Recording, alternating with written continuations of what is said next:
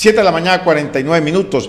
Y nuestro colega Josué Nieves, quien es director de, del medio de, virtual en el municipio de Saravena, eh, eh, él es el director de N Noticias Saravena, o sea, del municipio de Saravena, nos ha enviado un completo informe sobre cuántos candidatos a la alcaldía del municipio de Saravena se escribieron para estas contiendas electorales.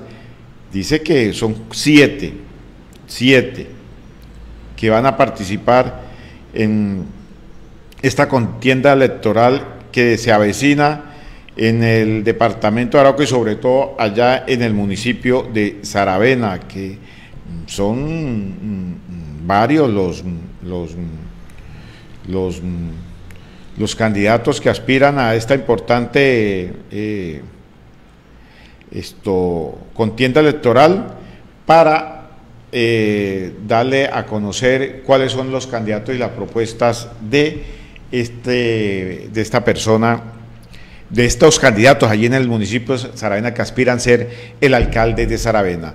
Don José, Josué Nieves, muy buenos días y cuéntenos cómo avanza el proceso político en el, en el municipio de Saravena y cuántos son los candidatos a la alcaldía de esa localidad.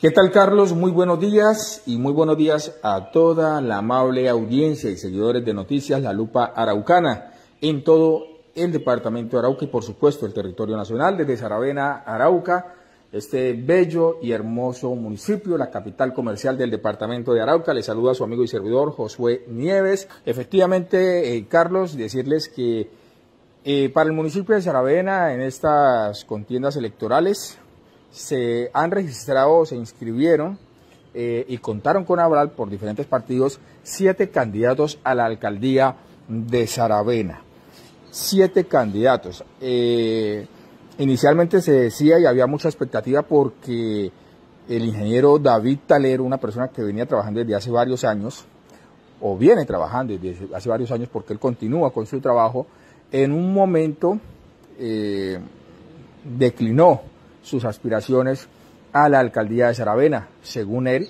como ya se ha visto en otras oportunidades, eh, por temas personales. Hay muchas dudas en cuanto a eso, hay muchos comentarios acá en el municipio de Saravena, en todo este sector del Piedemonte araucano, sin embargo son eh, comentarios como siempre lo han habido especialmente en las eh, contiendas electorales que se presentan cada cuatro años, contiendas electorales regionales. Pero vamos a hablar de los diferentes candidatos. Eh, el primer candidato que se inscribió ante la registraduría eh, nacional fue el candidato Lewis Jefferson Calderón. Es un joven concejal eh, militante del Partido Centro Democrático y que durante varios años ha estado como en el ojo del huracán en temas que tienen que ver con el orden público, pues por ser militante del Partido Centro Democrático. Incluso hace algún tiempo salió una publicación a nivel nacional donde decía que era él junto con el concejal Luis Ascanio Naranjo eran los dos jóvenes de Saravena que el ELN quería matar en ese entonces. Y así sucesivamente. También hubo un tiempo, una temporada donde se tenían que movilizar ellos en tanquetas de la Policía Nacional. En escándalos como eso ha estado involucrado, inmerso, el actual candidato a la alcaldía de Saravena, Lewis Jefferson Calderón. A pesar de ser eh, muy joven, es un abogado, eh, tiene algunos eh, trabajos ya, alguna experiencia muy importante, lo cual le permite aspirar a la alcaldía de Saravena. Ese por el Centro Democrático, el segundo candidato en hacerlo público y registrarse ante la Registraduría Nacional fue Juan Ignacio Cifuentes Chese, un señor campesino, ganadero del municipio de Saravena y el cual está avalado por el partido de la U y coavalado por siete partidos más. Es el candidato que aquí en, en las bases, por decirlo así, del pueblo y los sectores, eh, se ve el respaldo hacia él, hacia Juan Ignacio Cifuentes Chese. se dice que Chese va a ser el alcalde porque tiene el respaldo de todos los sectores y ya ustedes me entenderán. Sin embargo, pues será el 29 de octubre en que los aravenenses elijan su nuevo alcalde y también recordar que Saravena eh, siempre ha marcado la tendencia porque eh, gana prácticamente el candidato que como que menos hace o el que menos bulla hace y que también siempre la gente ha tenido la tendencia de votar por más la derecha que por la izquierda y al CSCR eh, coavalado por siete partidos y por tener tanto apoyo por los diferentes sectores sociales aquí, pues eso le da una imagen a las personas eh, de este candidato.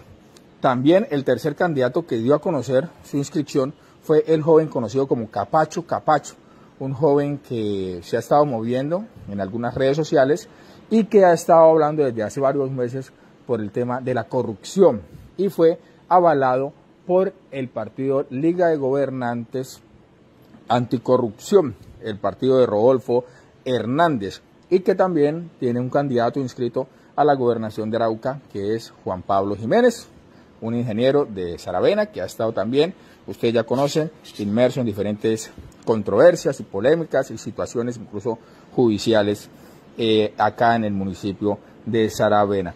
También conocimos del candidato Jamer Díaz, eh, un ex concejal también que en el momento no está en el municipio de Saravena, salió del departamento de Arauca y dio a conocer eh, a través de un video que ya estaba inscrito, que ya contaba con aval.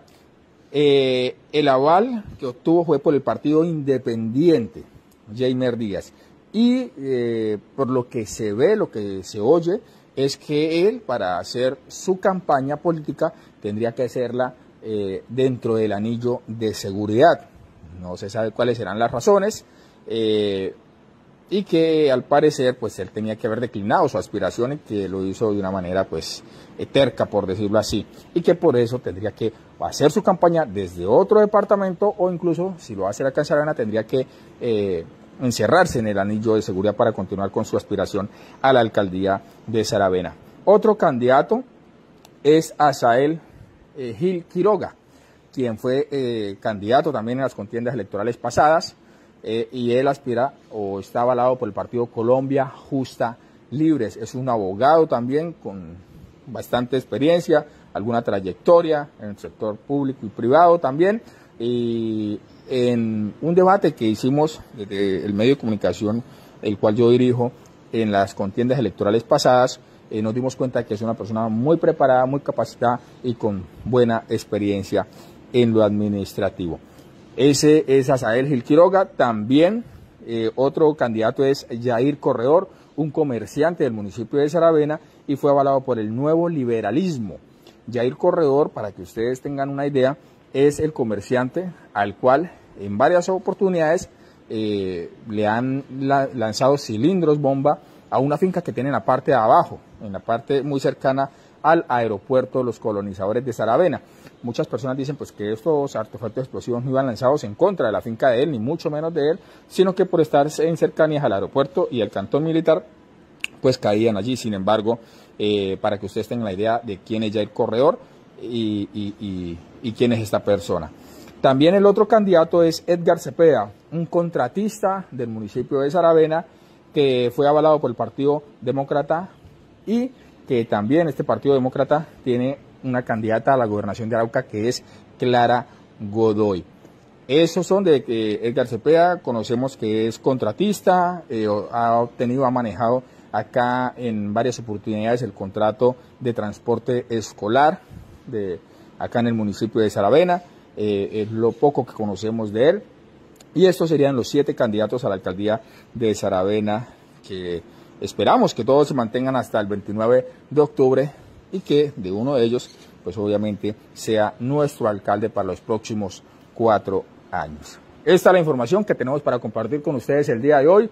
Carlos, eh, muchas gracias por el espacio y que todos continúen pasando un feliz día lleno de las bendiciones de nuestro Padre Celestial.